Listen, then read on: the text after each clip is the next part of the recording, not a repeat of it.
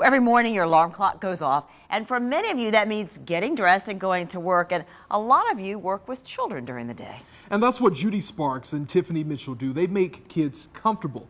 They make them laugh. They are pediatric hospice workers. And quite frankly, they do a job that most of us couldn't. Julia Dreyer with how these women helped a local family during their toughest moments of their lives.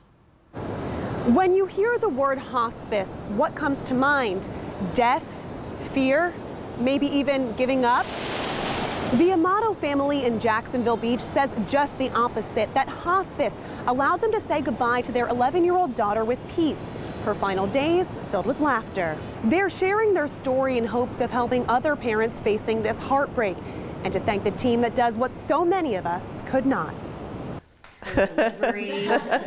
Laughter fills the Amato family's kitchen. And all of a sudden, she is running around like a mad woman. Friends catching up on missed time. It was like somebody was playing with oh. her. You'd never know the common thread binding these four together. I think Kate paid her a visit yeah. and was playing with her because it was really neat. Is the death of a child 11 year old Kate. There she is. Thanks, Thanks for the visit. I guess this means you're okay. Where do you begin? Oh, he used to be whack, but I made him all that. Well, shouldn't you think of my last name? I Kate is a very special soul. She's just, she's the child everyone wishes for. Lisa Amato beams as she remembers her little girl. The smile fades as she and husband Jeff go back to July 2014. They were on vacation in Connecticut when Kate's shoulder started to hurt. When she was running at one point in the afternoon, was, she was just letting it kind of dangle a doctor there suggested they return home immediately, and days later, Kate was diagnosed with stage 4 alveolar rhabdomyosarcoma, cancer in her shoulder, her foot, her lungs. You can't breathe. You literally can't breathe. And I felt myself kind of, my knees buckled, and I kind of fell back. Jeff was at home caring for their son, Jack, who has severe autism. I was sitting against a wall on the floor, holding my knees, bracing myself for telling my husband that Kate has cancer. They were given the choice to go into hospice right away, but immediately declined. They thought it was quitting. They wanted to fight. Kate went through treatment after treatment. Two years, four months, 10 days. But in the end, nothing worked.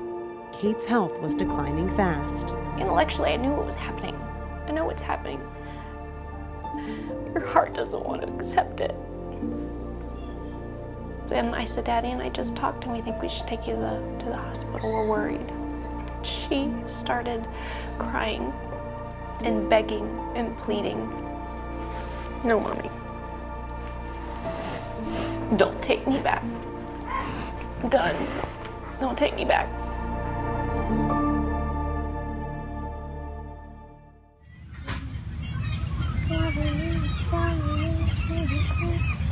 It was time.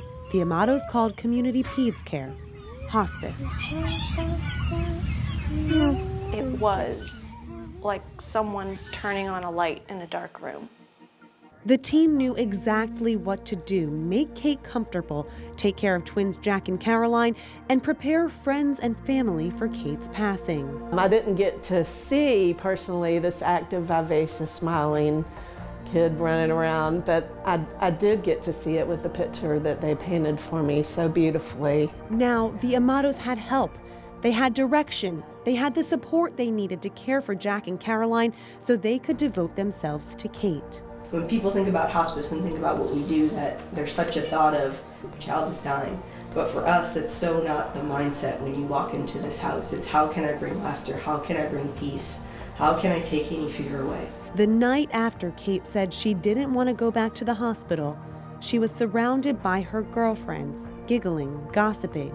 They made memories, works of art that would last long after Kate was gone. But the memory that I have of all of these girls laughing and loving each other for one last time together It was a beautiful memory.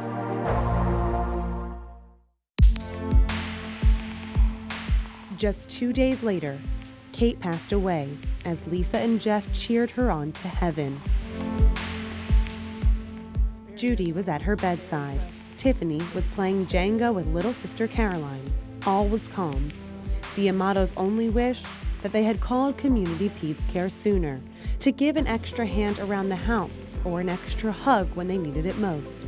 To give a family comfort and kindness during those moments is one of the more beautiful gifts I think any person can give another person. It's not easy for the Judys and Tiffanys of the world to bond with these families knowing how it's going to end. It's a job most of us couldn't do, but they can't imagine doing anything else. Sometimes afterwards, when you're driving home, I've had to pull over and stop. And, wow, what did I just do? And then you just you do it again, and, and it's okay. You know, the night that Kate died, Lisa said, she said, "There's nothing perfect about death, but what you guys did helped give Kate the perfect death." And I told Lisa that when I get a call and I know I'm going somewhere, I'm in my car usually, and I breathe and I pray and I think about things like that because that's why I do what I do.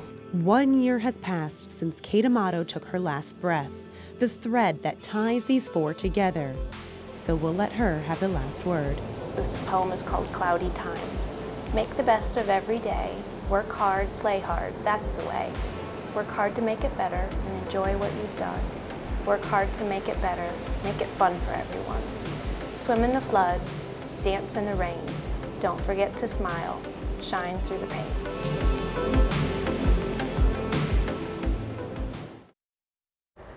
This beautiful girl just touched so many lives. And one thing that Judy Sparks, who's that nurse, said to me that stood out, she said, whenever she meets someone new, they ask what she does, and she says she's a nurse, and she anticipates that next question, what kind of nurse? And she sees their face drop, and they say often, I couldn't do it. I love kids too much. And she said, I love kids. That's why I do it. You know, what really struck me is how they learn, mom and dad learn, Kate's mom and dad, that hospice isn't quitting. That's so important. Exactly, and this is such a strong family, and here they are one year out, and they're sharing their story because they say, you know, they help them say goodbye to Kate in these most peaceful terms, and they, I have to thank them so much for being so open with me and letting me into their lives to tell this story. It um, it changed me for sure. And there was one line I saw in your story. It said, "Shine through the pain," and those women are definitely, I would say, a shining light during a difficult They are. time Yeah. like They are. this. God bless people like that, huh? No All doubt about it. Thank you, Julia, Julia. beautiful story. Thanks so much for sharing. We'll be right back.